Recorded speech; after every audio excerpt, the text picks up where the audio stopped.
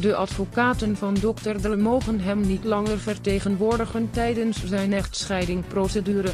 Het verzoek daartoe van zijn ex Nicole Young werd volgens de New York Post door de rechter goedgekeurd. Tekst gaat verder onder advertentiereden is dat een van de twee, Howard King, in betere tijden, jarenlang de gezamenlijke juridisch adviseur van het stel was. De uitspraak betekent dat ook advocaat Laura Wasser, waarmee King een team vormde in de zaak, niet meer aan de slag mag voor Dr. Dre, die eigenlijk Andreon heet. Wasser is een bekende echtscheidingsadvocaat in Los Angeles, die onder meer ook Kim Kardashian bijstaat tijdens haar scheiding. De Youngs maakten in maart van 2020 bekend dat ze na 24 jaar huwelijk gingen scheiden.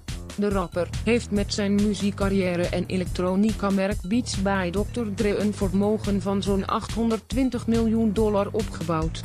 Hij houdt vol dat het stel op huwelijkse voorwaarden is getrouwd, maar volgens Nicole heeft André die papieren twee jaar na hun trouwen voor haar ogen verscheurd.